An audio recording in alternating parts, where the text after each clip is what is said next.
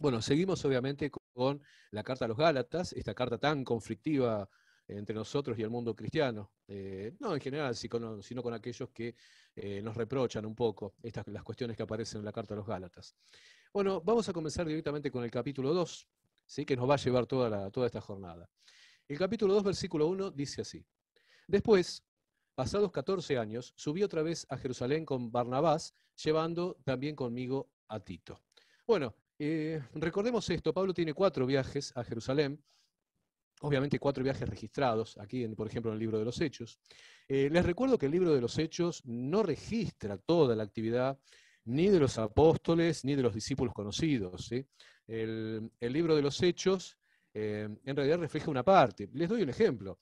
ustedes van a ver que antes de ir a Jerusalén, por ejemplo, en uno de los viajes de Pablo, se habla que estuvo en Tiro y que las familias y los habitantes de Tiro lo acompañaron hasta la, hasta la salida de la ciudad, que era eh, precisamente lo que serían las playas, de donde salió, de donde partió el barco. Y mm, se llegaron a este, a este lugar y ahí se menciona la congregación en Tiro. Sin embargo, cuando uno lee todo el, todo el libro de los Hechos, no se menciona en ningún lugar la formación de la congregación de Tiro, ni tampoco hay una carta donde se, se haya dirigido a los hermanos en la congregación de Tiro. Pero mm, cuando uno lee, por ejemplo, ese, ese, texto en el libro de los Hechos, ve que ya había una, congregación formada con mucha gente y con familias directamente que habían aceptado a Yeshua, que habían aceptado al Señor. Em, esto viene a colación de lo que les estoy diciendo. No todo lo que ocurrió con los apóstoles está registrado en el libro de los Hechos, sino algunos puntos básicos que Lucas entendió, Lucas o Silas, quien, haya sido el que lo escribió, entendió que era necesario em, dejar sentado. ¿sí? Bueno, Dice acá, después pasados 14 años, subí otra vez a Jerusalén con Barnabás, llevando también conmigo a Tito. Si Pablo, a los tres años de su conversión, viajó a Jerusalén a hablar con Pedro, esto que ahora nos está relatando ocurrió 17 años después del gran encuentro que Pablo tuvo con el Señor camino de Damasco, lo cual eh, ubica esta situación en el año 50 o 51 después de Cristo.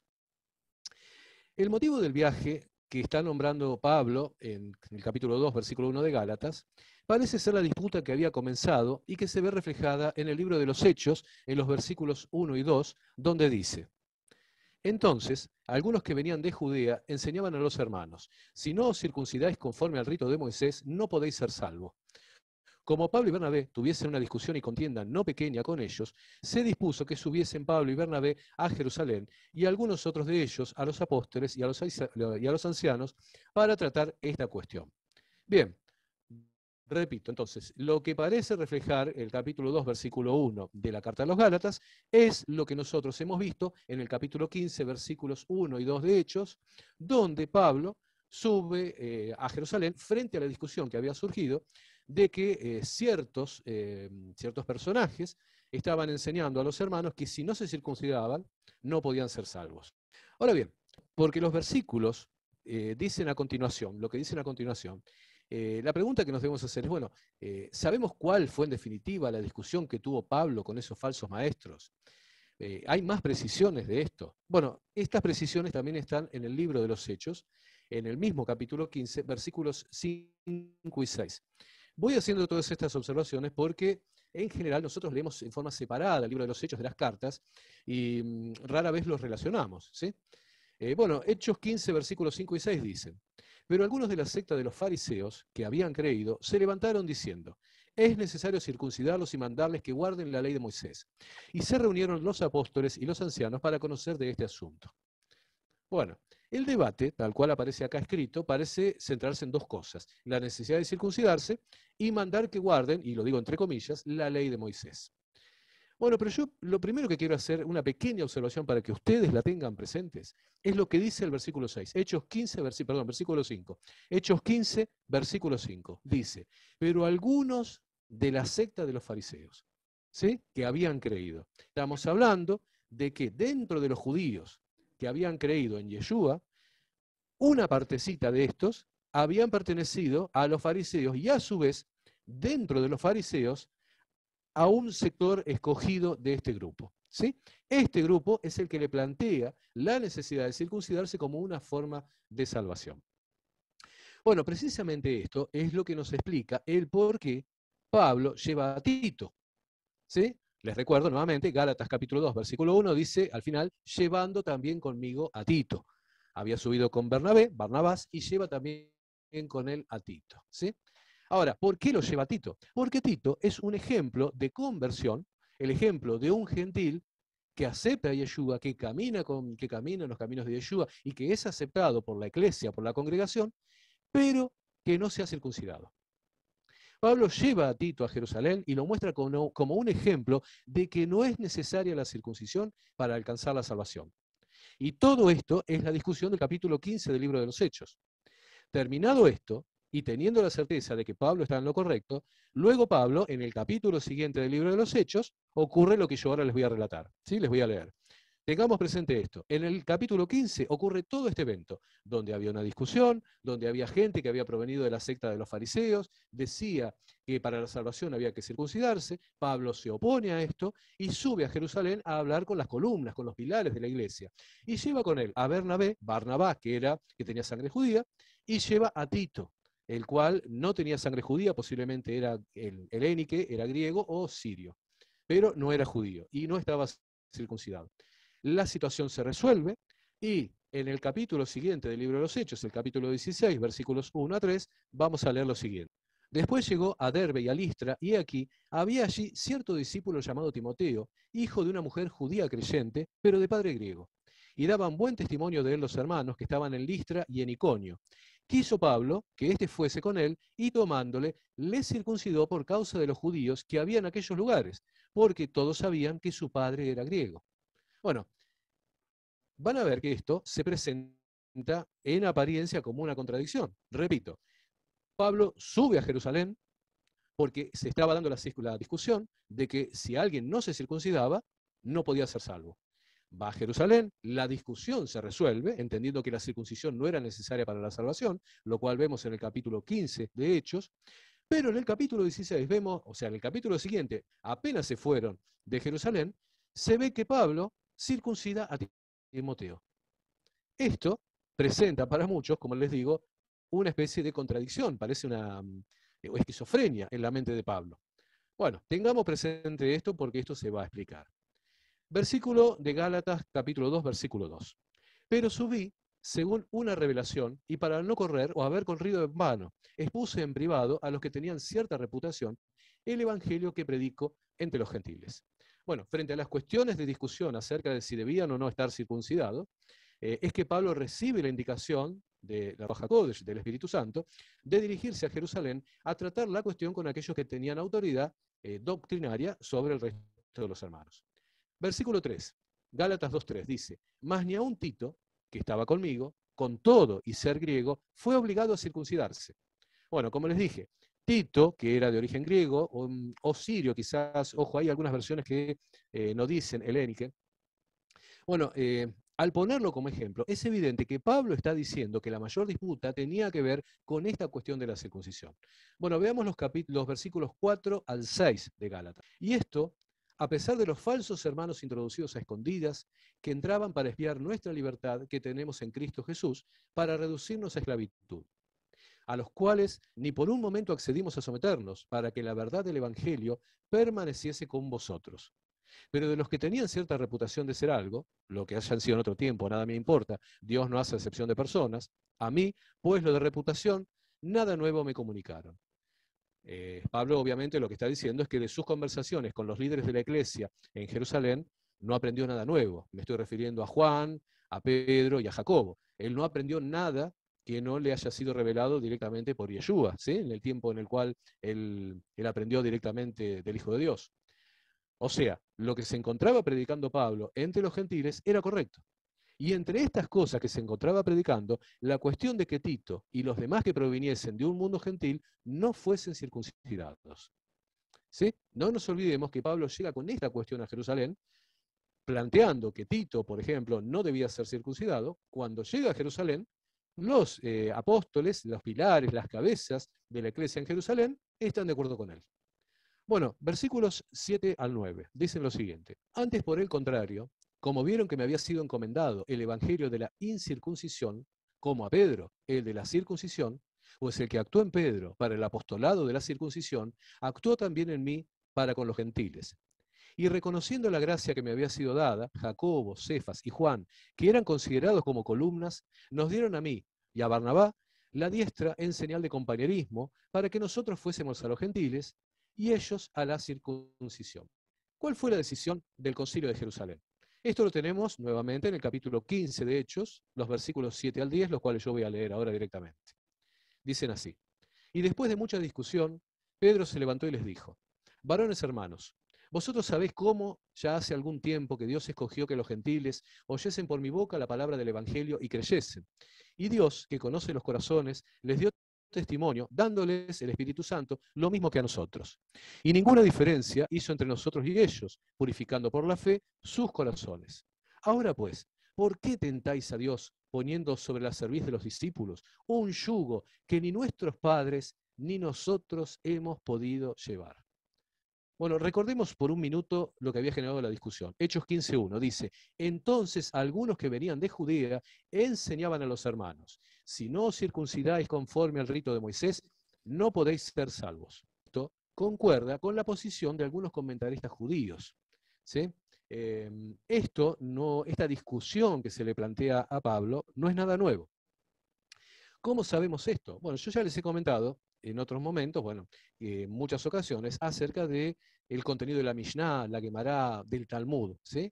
Todo el contenido de la llamada eh, Torah oral, la cual eh, en tiempos de Pablo, en tiempos de Yeshua, en tiempos de Pedro, eh, era oral, era de transmisión oral, pero que con posterioridad se escribió y se transformó en todo el contenido que actualmente tiene el Talmud, la Sifra, la Tosefta, la Mishnah, la Gemara, los distintos tratados.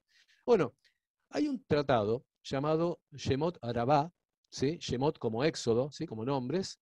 Eh, si lo quiere transliterar es S-H-E-M-O-T y separado R-A-B-B-A, ¿sí? Shemot Arabá. Este es un escrito de los llamados agádicos, ¿sí? de las agadá, em, del libro del Éxodo, y dice, miren lo que decía, por ejemplo, parte del judaísmo de aquel tiempo. Dios rechaza a los incircuncisos y los hace descender al infierno.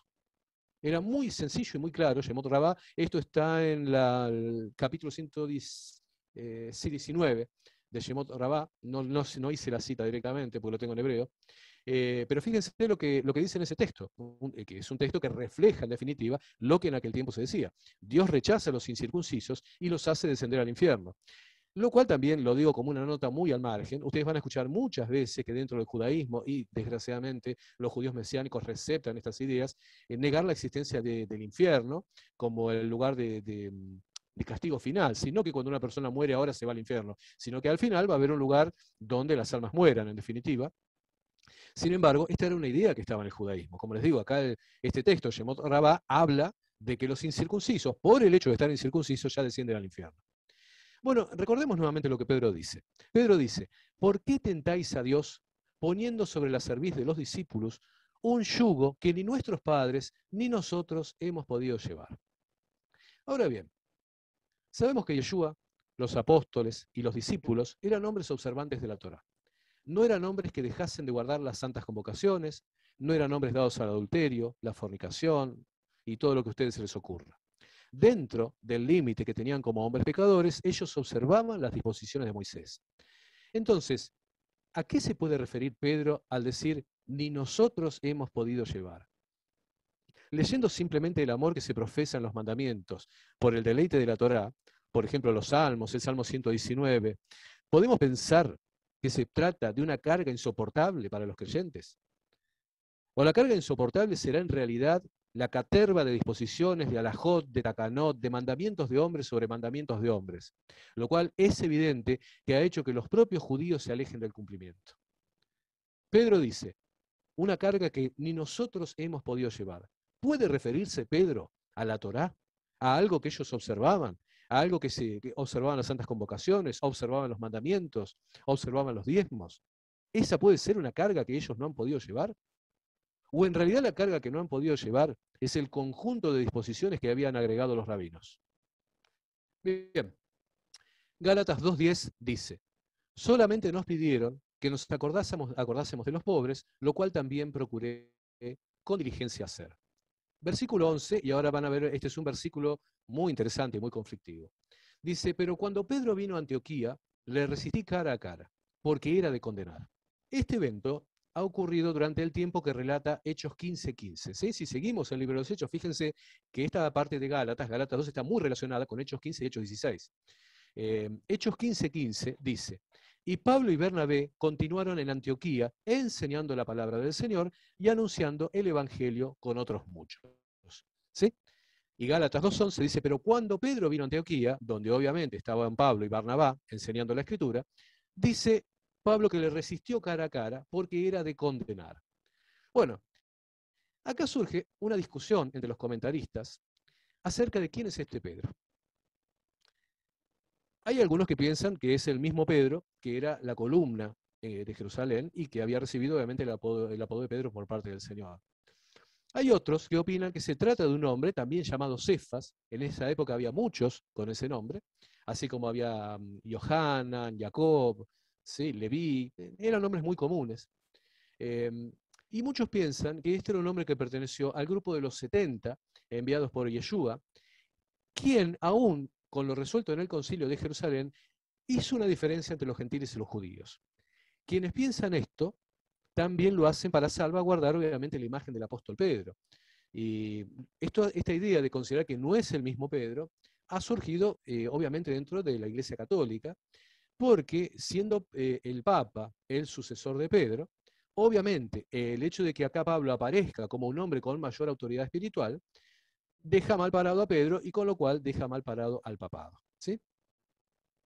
Bueno, esta disputa entre un tal un Pedro y Pablo, de Pablo no tenemos duda de quién es, eh, es interesante porque además generó debates y distintas posiciones con los primeros grupos, eh, se me permite decirlo de esta forma, cristianos. Porque la frase de Pablo al final es muy dura, no dice en el original esto que era de condenar, les repito como dice el, versículo, dice, pero cuando Pedro vino a Antioquía, le resistí cara a cara porque era de condenar.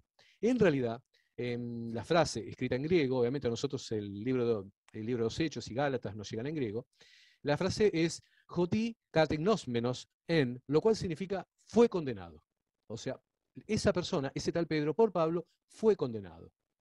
Bien, como les digo, esto, esta frase tan dura, generó eh, debates dentro de los, primeros cristianos. Por ejemplo, el grupo de los llamados ebionitas em, escribieron un texto que se llamaba Homilías Clementinas, y en esto imputaron a Pablo ser hostil a la fe, porque supuestamente, al llamar a Pedro condenado, en realidad eh, Pablo supuestamente estaría acusando a Dios mismo que se reveló y que reveló a Cristo en él, ¿sí? Una exageración, obviamente, pero lo, traigo a colación para que sepan, ¿no? Cómo a veces una pequeña discusión entre dos personas, ¿sí? un, debate, que es reflejado obviamente en las escrituras por su importancia, puede generar la existencia de distintas corrientes. Bien, otro, por ejemplo, Marción, eh, que era gnóstico, creyó ver una prueba de antagonismo entre el judaísmo y el cristianismo representados por estos dos exponentes. Marción fue una persona que eh, negó la validez de todo el Antiguo Testamento, Marción habló directamente de borrarlo, y si pensemos en esto, así como después la Iglesia Católica borró algunos textos eh, y los hizo desaparecer, si Marción, por ejemplo, hubiera logrado el poder finalmente y la Iglesia Católica se hubiera, eh, hubiera seguido los dictados de esta persona, todo el llamado Antiguo Testamento habría desaparecido. Bueno, Clemente de Alejandría sostuvo que el Cefas, aquí mencionado, no era el apóstol Pedro, sino una persona inferior, como les dije, uno de los 70 discípulos. Y después, bueno, dos de los llamados padres de la iglesia, Orígenes y Crisóstomos, y Crisóstomo tienen una, posición vergonzosa, eh, ridícula realmente. Ellos dicen en realidad que los dos apóstoles eh, arreglaron esta escena de antemano eh, y, y, la representaron. Fue una especie de teatralización eh, para que los judaizantes escucharan esta discusión y dejaran de serlo. Eh, bueno, otros piensan que en realidad esta discusión eh, se, motivó en la personalidad de Pedro, que era impulsivo, ¿sí? y que también buscaba agradar a los demás. En lo personal, mm, lo que yo puedo entrever es que posiblemente se trate de otro Pedro. Esa posición que tantas veces se ha dicho, aun cuando haya sido la avalada por parte de la Iglesia Católica, en lo personal sinceramente no me interesa que lo hayan dicho los católicos, pero creo que muy posiblemente sea otra persona con el mismo nombre Cefas. Pero bueno, que desarrollemos versículo por versículo, el contenido de ese versículo analizado es lo que le acabo de exponer. Gálatas 2.12 dice, pues antes que viniesen algunos de parte de Jacobo, comía con los gentiles, pero después que vinieron, se retraía y se apartaba, porque tenía miedo de los de la circuncisión. Bueno, lo que aquí se relata, obsérvese que es la acusación que Pedro había recibido, este tal Pedro, por haber llevado el Evangelio a Cornelio. Recuerden que mm, en e, Pedro, había en, Hechos capítulo 10, Pedro va con Cornelio y lleva el Evangelio, pero en Hechos 11 nosotros vemos que había algunos hermanos que lo acusaron a Pedro de sentarse a la mesa de los gentiles. Hechos 11, 1 al 3 dice, oyeron los apóstoles y los hermanos que estaban en Judea que también los gentiles habían recibido la palabra de Dios. Y cuando Pedro subió a Jerusalén, disputaban con él los que eran de la circuncisión, diciendo, ¿por qué has entrado en casa de hombres incircuncisos y has comido con ellos? Bueno, eh, recuerden ustedes que para un judío observante la mesa de un gentil es inmunda. Después vamos a ver un poquito por qué esto. Eh, comer con los gentiles constituía una oportunidad de caer en la transgresión. Pero yo quiero hacer una pequeña observación de algo que se desprende del libro de los Hechos y que está relacionado también con Gálatas 2.12. Escritores distintos, en dos lugares distintos, con dos situaciones distintas, están hablando de un mismo grupo de gente, los de la circuncisión. Si Pablo habla de los de la circuncisión en Gálatas 2.12, y si acá Lucas está hablando de los de la circuncisión, 11.2, perdón, y si Pedro no era de este grupo, de los de la circuncisión, evidentemente los llamados, los de la circuncisión, no eran simplemente los que estaban circuncidados, porque Pedro estaba circuncidado, Pablo estaba circuncidado, Juan, estaba circuncidado, Pablo estaba circuncidado. Y están hablando, se están refiriendo a personas como los de la circuncisión. Evidentemente, están hablando de otra gente. Bien, Gálatas 2.13 dice, y en su simulación participaban también los otros judíos, de tal manera que aún Bernabé fue también arrastrado por la hipocresía de ellos. Fíjense esto, esto viene a reafirmar lo que les acabo de decir. En Gálatas 2.12 habla de que Pedro, este Pedro, Kefa, quien fuere, tenía miedo de los de la circuncisión. Y en Gálatas 2.13 Pablo nos dice que en su simulación participaban también, perdón, participaban también los otros judíos. O sea, había un grupo de judíos que creían en Yeshua y había otro grupo de judíos que también creían en Yeshua, pero eran llamados los de la circuncisión. Bueno, acá se ve con claridad que los judíos creyentes en Yeshua fueron arrastrados también por esta gente que observaban todas las costumbres, y eso lo vamos a desarrollar, aun cuando creyesen en Yeshua. Versículo 14, Gálatas 2.14 dice, pero cuando vi que no andaban rectamente conforme a la verdad del Evangelio, dije a Pedro, a Kefa, delante de todos, si tú, siendo judío, vives como los gentiles y no como judío, ¿por qué obligas a los gentiles a judaizar? Y acá es donde viene esa palabra tan difícil que tanto confunde a los cristianos. Y desgraciadamente tengo que decir, tanto confunde a los que ignoran la historia y el contexto judío del primer siglo. En primer lugar, tenemos que entender que la carta que Pablo escribió no es una carta universal. La carta de los Gálatas no es universal. No es una carta escrita para todo el mundo ni para todas las épocas. Para ser claro, no es una carta escrita ni para los colosenses, ni para los tebanos, ni para los cordobeses, ni para los napolitanos, ni para los chinos. Es una carta escrita para los habitantes de Galacia, que nosotros habíamos nombrado ya en el capítulo 1 de la cual obviamente podemos obtener enseñanza para nuestras vidas. Pero es una carta para gente que entendía de qué se les estaba hablando, en su idioma y con respecto a sus circunstancias. Y este versículo, precisamente el 14, es un ejemplo de esto. Esto de por qué obligas a los gentiles a judaizar. ¿sí? Bueno, casualmente, mire, lo que recién Emiliano comentaba, que él estuvo hablando con un, con un bautista, con un cristiano, sobre el capítulo 15 de Hechos. Bueno, miren, yo traje a colación qué es lo que dice un cristiano, un teólogo cristiano, con respecto a este versículo de Gálatas. ¿Sí? donde dice, ¿por qué obligas a los gentiles a judaizar? Bueno, les voy a leer directamente el análisis de un teólogo cristiano. Dice así, Este grupo de personas, tan popular en la Carta de los Gálatas, se trataba de aquellos que querían imponer la observancia de la ley de Moisés a los cristianos convertidos de entre los gentiles, con el argumento de que era necesaria para la, salvación. Bueno, esto es lo primero que tendríamos que tomar en cuenta. ¿sí? La segunda premisa que tenemos que analizar es que la carta no la escribió un teólogo cristiano, sino que la escribió un apóstol surgido del judaísmo fariseo, con ideas y conocimientos que evidentemente el teólogo cristiano no posee. En este aspecto quiero recalcar algo. No todos los judíos piensan lo mismo de todo. Parece mentira tener que estar explicando esto, pero eh, voy a dar un ejemplo. ¿sí? Por ejemplo, ¿cómo practican el bautismo los cristianos? O mejor dicho, ¿todos los que profesan ser cristianos se bautizan de la misma forma? Obviamente que no. Los pentecostales eh, que tienen determinada edad se sumergen en una pileta de agua o en un río y antes o después dicen una determinada frase. En cambio, los católicos romanos son bautizados por aspersión, siendo bebés. Y por su parte, la Iglesia Ortodoxa griega lo hace por inmersión, pero siendo niños. Más allá de que entre todos ellos discutan acerca de cuál es el indicado, todos estos bautismos son diferentes. Entonces, si vemos que el cristiano tiene esas diferencias, ¿por qué, sin embargo, los teólogos cristianos creen que judaizar quiere decir hacer judío a alguien? Porque de este modo, yo me preguntaría, y solo con la información que los evangelios transmiten, ¿eh? cuando Pablo habla de judaizar, se trataba de que los gentiles se hiciesen qué cosa? Saduceos, fariseos, esenios, simplemente judíos.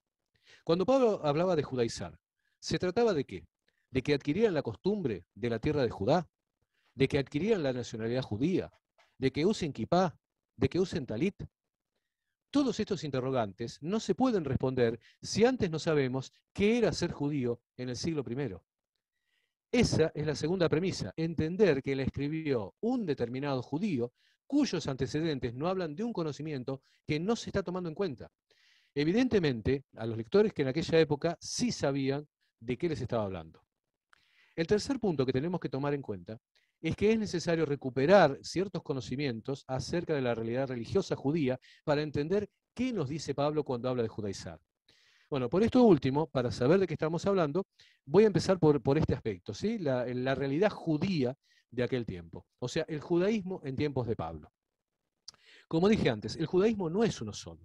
En la actualidad, por ejemplo, ¿qué es ser judío?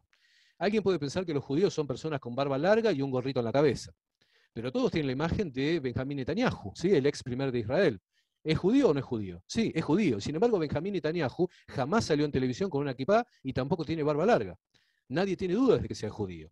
Por lo cual, la afirmación, la primera afirmación es incorrecta o solo es parcialmente correcta. O sea, algunos judíos usan kippah y algunos judíos tienen barbas largas. Entonces alguien podría decir, bueno, entonces la afirmación debería ser, los judíos religiosos son hombres con barba larga y gorrito. Entonces yo me preguntaría, Nemia Gordon, esta persona que es amiga y tan, cercana, por ejemplo, a Michael Rood, ¿es judío? Como sé que la mayoría, obviamente, de, los que pueden estar escuchando esto no saben de quién estoy hablando, les aclaro que es eh, uno de los más lúcidos escritores del judaísmo caraíta, ¿sí?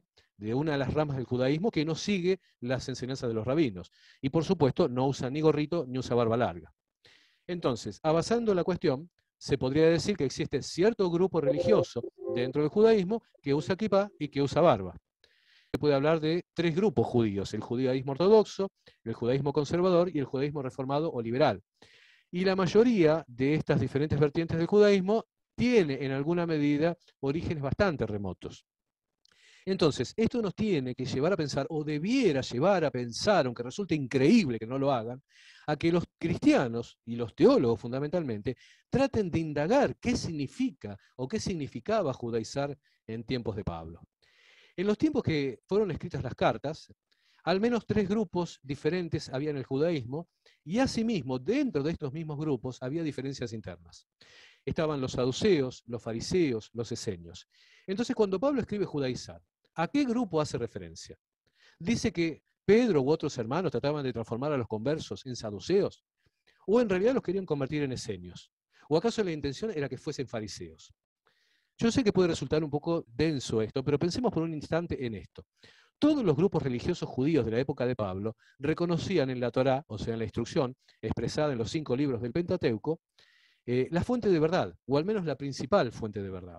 Por lo cual, la aseveración esta del teólogo cristiano que dice que judaizar significaba imponer la observancia de la ley de Moisés a los cristianos, no aporta mucho, porque todos los judíos creían que debía ser observada la ley de Moisés. Pero si somos serios, ¿sí? nosotros, aunque estos teólogos cristianos no sean serios, si nosotros somos serios, podemos empezar a descartar algunos grupos. En primer lugar, habría que descartar a los esenios. O sea, no se hablaba de que la gente se transformara en esenio. Se puede descartar porque los esenios se habían recluido a vivir en el desierto y estaban apartados de la contaminación de un sacerdocio pervertido como el que existía en Jerusalén. Por esto, es poco probable que un esenio hubiese visitado las congregaciones de Galacia, o un representante esenio para convertirlos en esa doctrina. También se puede y se debe descartar a los saduceos, porque la actividad de estos estaba centrada en el servicio sacerdotal de Jerusalén y difícilmente se fueran a abocar a convertir gentiles en esta zona. Entonces, por descarte, se puede decir que la opción que queda es que se trataba de personas que quisiesen que los recién conversos se transformasen en fariseos. Eh, acá el teólogo cristiano podría respirar y decir, bueno, sí, sí, eso, quería que se hagan fariseos. Judaizar significa que se hagan fariseos. Pero de nuevo, tengo que decir que la ignorancia es madre de una gran cantidad de errores. Porque así como los judíos ortodoxos de la actualidad tienen más de una versión, en tiempos de Pablo había más de una escuela que se disputaban el tener la verdad del judaísmo. La diferencia entre grupos eseños, saduceo y fariseo está relatada en los evangelios. Y expresión de esto son los distintos tratamientos que el propio Mesías hace de cada una de estas corrientes. Pero algo que algunos desconocen es que dentro del fariseísmo también se encontraban distintas corrientes, así como había diferencias en cuanto a la enseñanza y las leyes rituales. En el primer siglo, que es el tiempo que nos importa, había dos corrientes importantes que se disputaban la correcta interpretación de las escrituras y su cumplimiento. Estas corrientes estaban encabezadas por dos grandes maestros, Gilel y Shammai. Y esta realidad no es poco importante, porque cualquier judío del primer siglo, ¿sí? cualquier judío del primer siglo conocía la existencia de estas dos escuelas de fariseísmo. Obviamente que el creyente que proviene del cristianismo por lo general desconoce esta cuestión. Pero el saber de la existencia de estas corrientes, conocer sus expresiones, su desarrollo y sus conclusiones es fundamental para entender de qué se habla en gran parte del llamado Nuevo Testamento. Como hay que partir eh, de entender el contexto religioso en el cual se da la correspondencia de Pablo, pues de otro modo, lo que se estaría haciendo es especular acerca de qué quiso decir o por qué dijo tal o cual cosa. Y precisamente al ignorar esta realidad, la conclusión a la cual en general se puede llegar resulta también una conclusión errónea. Quien desconoce las discusiones que había en juego en el primer siglo no puede llegar a entender con, con, certeza a lo que se refirió Pablo cuando dijo, por ejemplo, hablando de la circuncisión en Galas 2.3, más ni a un Tito que estaba conmigo, con todo ese griego, fue obligado a circuncidarse. Obviamente que el cristiano teólogo apresurado dirá eh, que sabe lo que es la circuncisión. Es el corte practicado en el prepucio del hombre. ¿Y qué pasa si ahora yo le digo que está equivocado? ¿Qué me contesta esta persona? Si yo ahora le indico que no tiene ni noción de lo que es la circuncisión de los gentiles es necesario que primero entendamos el hecho de que una palabra que viene del hebreo, que luego pasó al griego, que luego pasó al latín, luego pasó al castellano antiguo y de ahí el castellano moderno, esté traducida, no significa que se entienda de, de lo que se está hablando. Pues si no se conoce el trasfondo religioso de la época, jamás se va a entender, por ejemplo, que el proceso de circuncisión para el fariseísmo era distinto si se trataba de un gentil como de un bebé judío. ¿Sí? Bueno, volviendo al punto, hay dos escuelas. ¿Se puede establecer, aunque no sé por arriba, algunas diferencias entre ellas para saber de qué, de qué estoy hablando? Bueno, en primer lugar hay que tomar en cuenta algo. La existencia dentro del judaísmo de dos instrucciones, la Torah escrita y la llamada Torah oral. Obviamente ustedes saben que la primera, la Torah escrita, es la que escribió Moisés y que tenemos en el llamado Pentateuco. La oral sería una instrucción que le fue dada a Moisés sin orden de que la escribiese. Luego éste se la transmitió a Josué y luego a los ancianos y así llegó a los tiempos del Mesías. Esto es precisamente lo que la propia Torah oral dice de sí misma. Esto está en la Mishnah número uno, en el tratado Pirke Avot, que es conocido como el Tratado de los Padres. La Mishnah número uno del Pirke Avot dice, Moshe recibió la Torah en el Sinaí y la transmitió a Yehoshua, que es Josué, Josué se la transmitió a los ancianos, los ancianos a los profetas, y los profetas la legaron, la dieron a los hombres del gran Sanedrín. Ahora bien, obviamente, de lo que se está refiriendo el Tratado Pirkei Avot, la Mishnah, no es la Torah escrita que nosotros compartimos, ¿sí? sino la Torah oral. Hay que entender algo. Si bien no estamos de acuerdo con la validez de la Torah oral como algo que entregó Yahweh a Moshe en el Sinaí, sí se entiende que esta Torah oral fue tomada como válida por la mayoría del judaísmo. Obviamente para nosotros todo esto tiene un valor histórico y pedagógico para entender cómo pensaban y cómo piensan los judíos religiosos de ayer y de hoy. Esta última, la Torah oral, es la que muchas veces Yeshua referencia cuando dice frase como oíste que fue dicho, pero yo os digo, contradiciéndola. Cuando dice oíste, o sea, pues en tiempos de Yeshua y obviamente de Pablo, la Torah oral se mantenía por transmisión oral. Como les dije, luego fue compilada en la Mishnah, la Gemara y lo que es el Talmud. El Talmud que comprende una gran cantidad de tratados, los cuales en tiempos de Yeshua eran conocidos como la tradición de los ancianos. Es lo que, por ejemplo, eh, vemos reflejado en Mateo capítulo 15, versículo 2, donde dice, ¿por qué tus discípulos quebrantan la tradición de los ancianos? Porque no se lavan las manos cuando comen pan. Ustedes ya lo saben, en ningún lugar de la Torah escrita, o sea, ninguno de los cinco libros de Moisés, se indica que hay que lavarse las manos antes de comer. Pero en la Torah oral sí se encuentra esta prescripción, la cual es conocida bajo el ritual de Al-Netilat Yadaim, sobre el lavado de manos. Esta prescripción es un ritual previo a comer pan, en la cual se produce el lavado de manos de una forma determinada, con una cantidad determinada de agua, empezando por una de las manos y concluyendo de una forma prescrita y haciendo una oración también establecida. Eh, quien escucha esto y que nunca cumplió estos preceptos no tiene noción de la pesada mochila que carga quien cree que estas cosas son necesarias. Es una pesada carga que ninguno de nosotros puede llevar. Eh, solo para que se entienda, hay reglas sobre reglas, una sobre la otra, incluso sobre cómo ponerse los zapatos y qué cordón atar primero. La Torah oral, por ejemplo, me dice que al empezar el día tengo que hacer una oración, el lefanía neja. Luego, antes de recorrer una determinada cantidad de metros, tengo que hacer el al netilat yadaim, el lavarme de manos. Luego de esto, me tengo que calzar de determinada forma. Si no cumplí con esto, porque me olvidé o me dormí o me caí, tengo que hacer otra cosa y lo otro, un conjunto de pesadas cargas. A estos mandamientos de hombres es a lo que se refiere Yeshua en Mateo 23.4 donde dice, porque atan cargas pesadas y difíciles de llevar, y las ponen sobre los hombros de los hombres, pero ni aún con un dedo quieren moverlas. El conjunto de estas reglas es obviamente lo que conocemos como alajot, eh, que proviene de alajá, lo que se puede traducir como una ley en un sentido menor, ¿sí? como una disposición.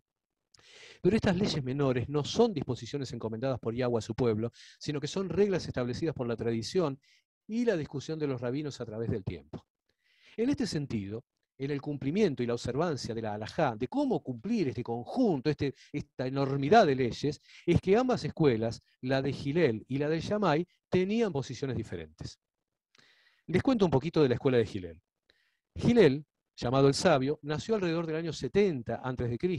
y murió en los primeros años del primer siglo. También fue llamado eh, lo que significa el viejo. La palabra Saken y Sakán, sabio y viejo, están relacionadas. Em, según el Talmud, nació en Babilonia, pero se desarrolló en Jerusalén porque a los 40 años emigró a Jerusalén. La escuela de Gilel se caracterizó porque era más indulgente en cuanto a ciertas normas de cumplimiento alágico. Eh, superaba a los estudiosos de la Torah de su época, Gilel, y terminó siendo presidente del Sanedrín. El deseo que tenía de propagar el estudio en todos los miembros de la Casa de Judá lo hizo más abierto. ¿sí? Em, él em, apuntaba a que Aarón, el, el Cohen Gadol, eh, buscaba la paz y la armonía entre, las, entre, los judíos y que a eso debía apuntarse cuando se, cuando se enseñaba, ¿sí? no a, la estrictez. Por otro lado, la escuela de Shammai, eh, que este hombre, si bien era amigo de Gilel, no compartía la misma visión que aquel, era más estricto y riguroso en la observancia, y fue nombrado, así como Gilel era el presidente, fue nombrado Abed Din, que significa cabeza del tribunal del Sanedrín.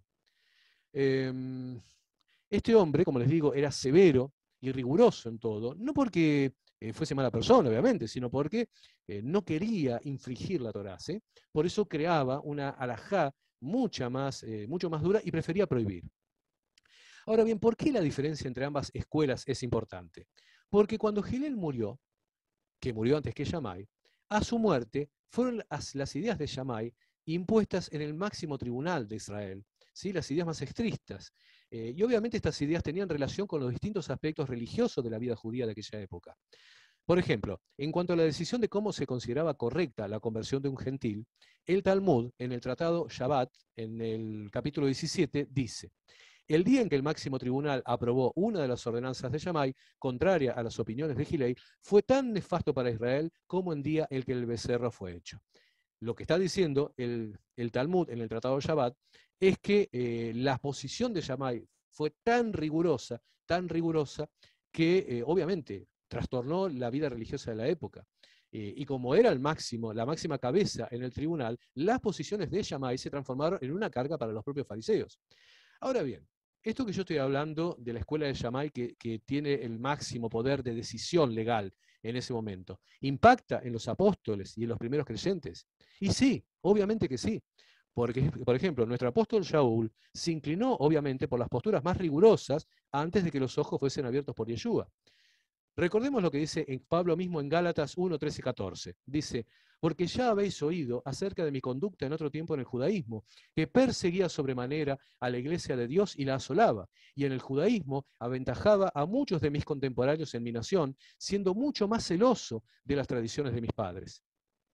Hechos capítulo 22, versículos 3 y 4 dice, Yo de cierto soy judí, nacido en Tarso de Cilicia, pero criado en esta ciudad, instruido a los pies de Gamaliel, estrictamente conforme a la ley de nuestros padres, celoso de Dios, como hoy lo sois todos vosotros. Perseguía yo este camino hasta la muerte, prendiendo y entregando en cárceles a hombres y mujeres. Hechos 26.5. Los cuales también saben que yo desde el principio, si quieren testificarlo, conforme a la más rigurosa secta de nuestra religión, viví fariseo. Obviamente, Pablo no pertenecía a la escuela de Gilel, pertenecía a la escuela de Yamai. Y Pablo era un gran conocedor de todas las cuestiones alágicas, tal cual nos dice que aventajaba a sus contemporáneos. Pero luego de su encuentro cara a cara con el Mesías, camino de Damasco, ¿qué nos dice Pablo de estas doctrinas? Filipenses capítulo 3 versículos 7 y 8. Pero cuantas cosas eran para mí ganancia, las he estimado como pérdida por amor de Cristo. Y ciertamente aún estimo todas las cosas como pérdida por la excelencia del conocimiento de Cristo Jesús, mi Señor, por amor del cual lo he perdido todo y lo tengo por basura para ganar a Cristo. Resumiendo, se puede ver que en el judaísmo existía más de una corriente de pensamiento, las cuales diferían, obviamente, sobre todo en cuestiones alágicas, de ley de hombres. Estas diferencias, obviamente, se plamaron en estas dos escuelas, la de Gilel y la de Shammai, las diferencias entre ambas escuelas fueron muy importantes, siendo la de Yamai la más estricta, y como les dije, a la muerte de Gilel, las ideas de Yamai son las que terminan impuestas en el máximo tribunal. El hecho de que estas ideas fuesen las que quedaron con fuerza tuvo influencia en todos los aspectos de la vida cotidiana de los judíos. Esto significa que abarcaron desde cómo debían realizarse los rituales religiosos, la conversión de los gentiles, a los cuales se llamaba prosélitos, los rituales necesarios para participar de una comida, con quién podía comer o no un judío, etc. Y todo esto es muy importante para nosotros por dos motivos. En primer lugar, porque los primeros creyentes en el camino eran judíos, que se encontraban inmersos en ese mundo lleno de debates y de cuestiones alágicas, y como tales participaron de este mover en la vida religiosa judía del primer siglo. Era ajeno, influía directamente en sus vidas. Y en segundo lugar, es importante porque lo que podemos leer en el libro de los Hechos y las cartas de Pablo, especialmente Gálatas, se encuentra impregnado de estas cuestiones. Asimismo, tenemos el esfuerzo y la dirección que los primeros dirigentes de nuestro camino le imprimieron a su mensaje. Fundamentalmente Jacobo, el hermano del Señor, quien era un pilar en Jerusalén para todos los creyentes en Yeshua. La postura que Jacobo mandó seguir, acompañado por Pedro y Juan, fue el mensaje que se transmitió a los gentiles que aceptaban a Yeshua como su Salvador,